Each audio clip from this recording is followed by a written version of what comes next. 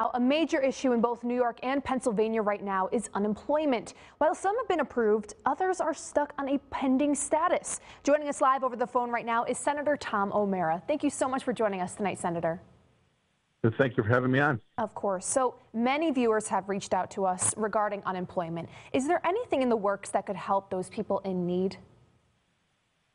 Well, they've been reaching out to my office uh, as well. Myself uh, Right. and my staff and my Senate office, both here in the district and in Albany, have been uh, working uh, virtually uh, wholly on the issue of uh, unemployment and dealing with unemployment claims. Uh, while the uh, state labor department uh, had made some some strides forward in improving the situation, we have a long ways to go.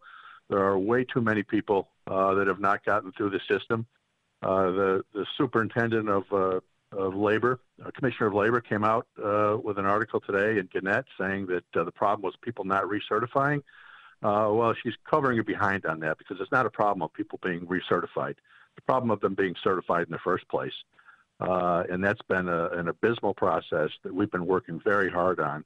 Uh, and, and forcing and pushing the governor to make this improvement, which has been very slow to come.